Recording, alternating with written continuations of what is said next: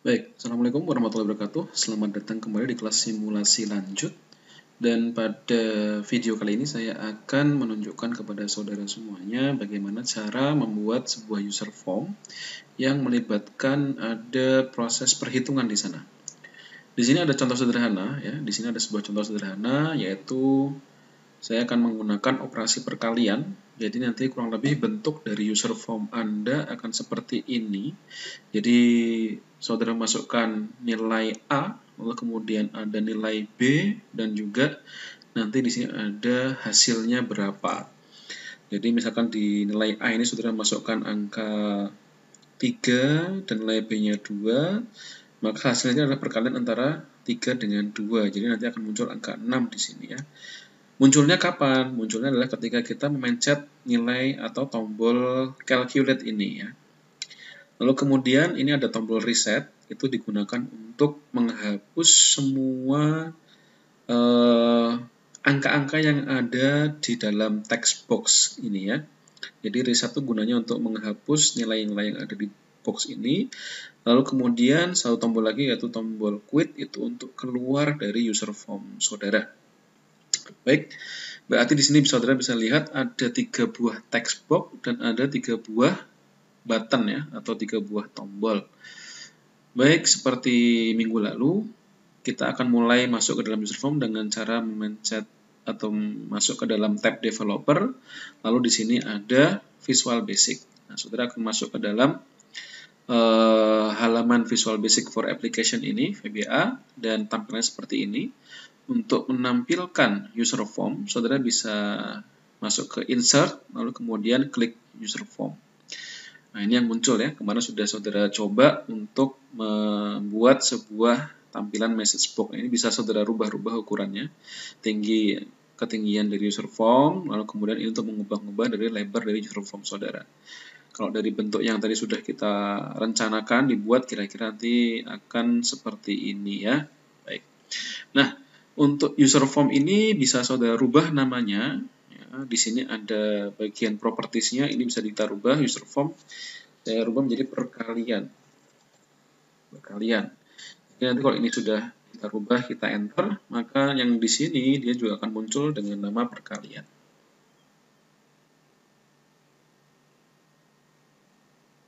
Oh ini captionnya, sorry.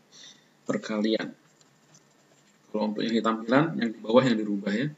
Tapi kalau untuk variabel, maka nanti yang dipakai adalah yang di atas. Nama variabelnya apa. Nah ini nanti berarti saudara kalau mau memanggil uh, user form ini dengan nama perkalian.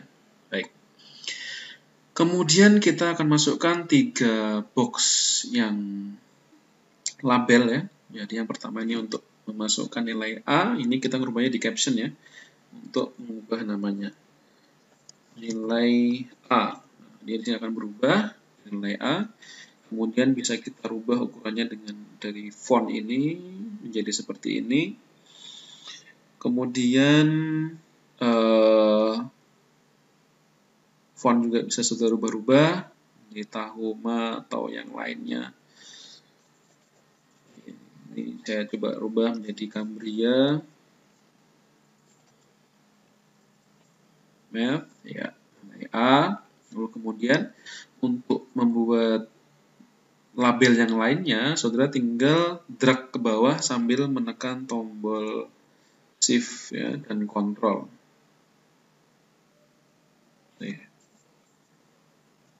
Pakai control, tidak perlu pakai shift. Ya. Oke.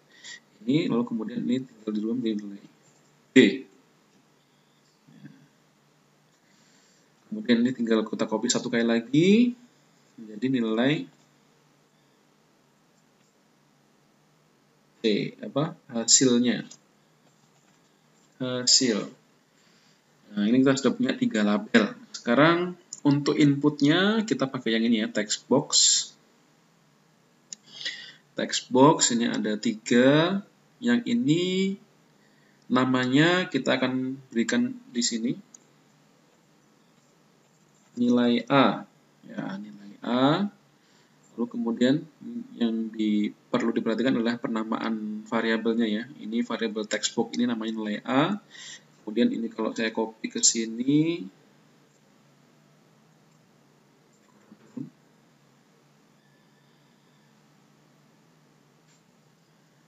ini nilai saya rubah menjadi nilai B. Kemudian saya kontrol lagi ke bawah lagi. Ini saya rubah namanya menjadi uh, hasil. Ya ini ada nilai A nilai B dan hasil. Ini bisa dilihat pada nama propertiesnya. Kita sudah punya tiga label tiga text box yang tersisa. Sekarang adalah membuat tiga buah tombol. Ya ada tombol uh, calculate untuk menghitung ada tombol quit dan juga ada tombol reset. Ini yang pertama saya akan membuat tombol untuk menghitungnya. Nah, ini oh, sorry sorry. Untuk mengubah namanya saudara bisa ke, ke caption ini ya. Jadi namanya saya menjadi calculate. Ini kalau mau di font besar semua juga bisa. Kemudian namanya juga saya rubah agar lebih mudah diingat dan mudah untuk dituliskan pada teks dari codingnya. Calculate, huruf kecil. Ya. Calculate, calculate. Nah, oke. Kemudian seperti biasa kita kopikan lagi, kita duplikat di sini untuk yang tombol E untuk tombol quit. Ini juga namanya juga saya rubah menjadi tombol quit. Lalu kemudian satu lagi kita letakkan di bawah ini untuk reset. Nah kita sudah punya tiga buah label, tiga buah text box, dan tiga buah button. Sekarang apa yang perlu kita lakukan? Nah, yang perlu kita lakukan sekarang adalah memberikan uh, perintah. Memberikan perintah untuk uh, menghitung, untuk keluar, dan juga untuk mereset dari perhitungannya. Lalu bagaimana caranya untuk memasukkan perintah? Ya, seperti yang video sebelumnya ya, sudah pernah sudah saya tunjukkan melalui tutorial untuk memberikan perintah saudara cukup klik dua kali pada button yang sudah saudara buat. Kita akan masuk ke calculate dulu.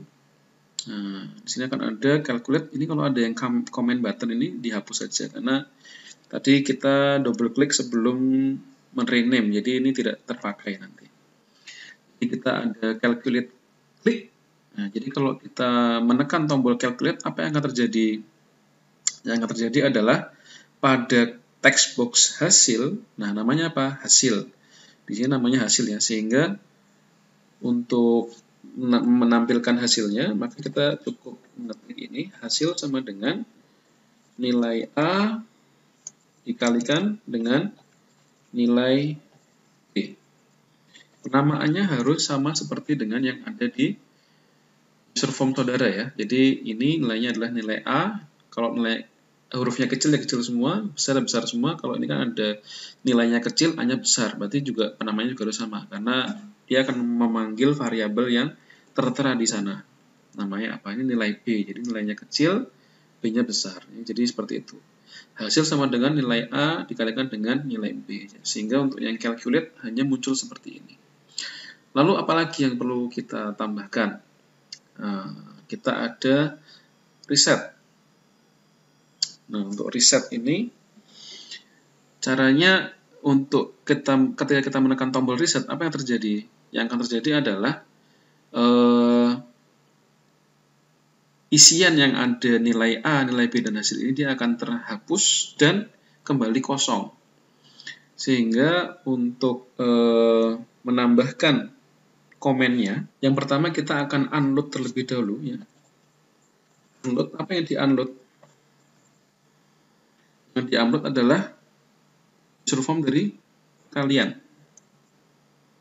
Namanya harus sama seperti dengan yang ada pada user form ini ya. Jadi ini apa? Namanya adalah perkalian P-nya besar. Sehingga nanti biar sama. Unload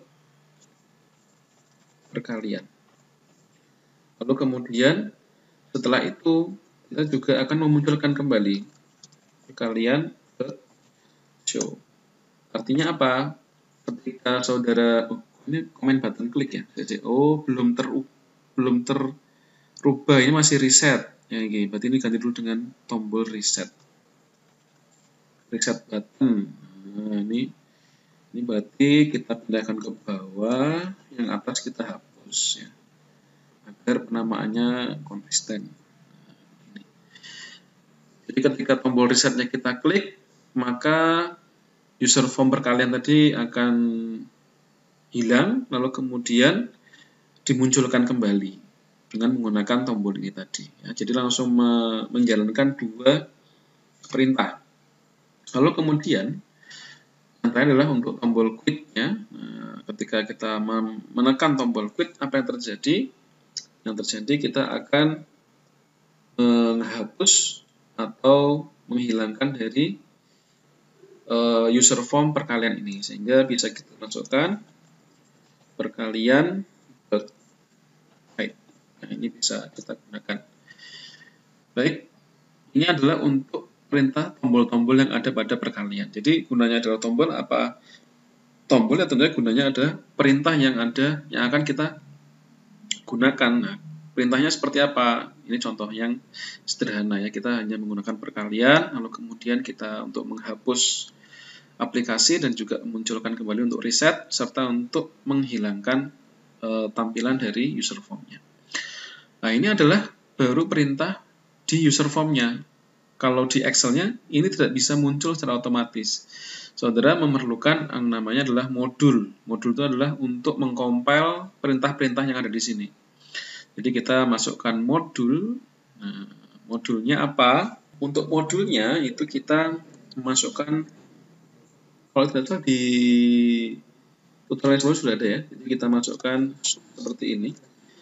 Sub itu apa? Sub itu untuk memunculkan dia sebagai perintah makro di Excel-nya.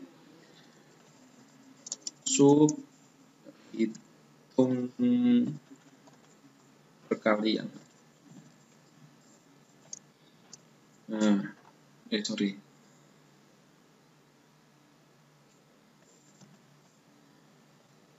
sub hitung perkalian.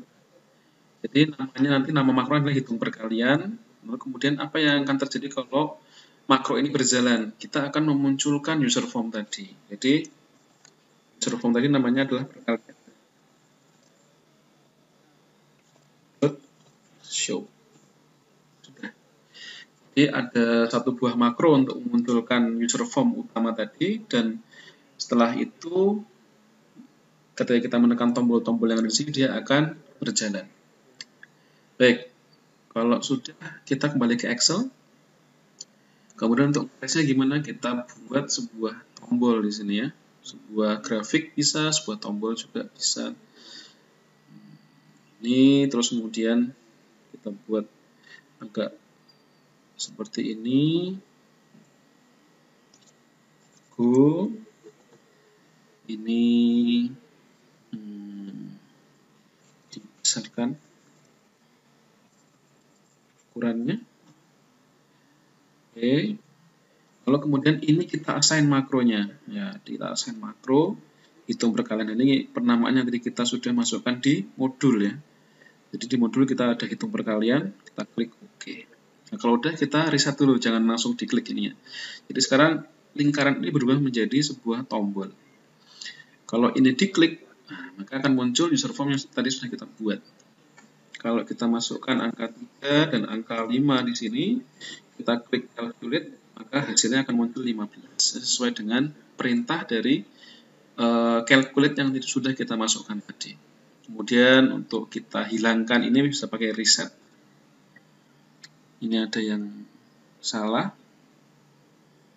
Unload perkalian ini harusnya.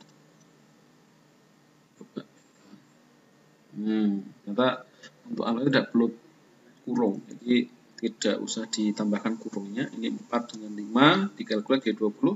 Kita lihat sudah hilang ya. 5 dikalikan dengan 100 kita hitung jadi 500. Reset ini sudah bekerja semua tombol-tombolnya dan kita kalau ingin keluar tinggal klik Oke, itu saudara untuk aplikasi user form pada sebuah perhitungan sederhana. Silakan saudara coba dengan hitungan yang lainnya. Terima kasih. Assalamualaikum warahmatullahi wabarakatuh.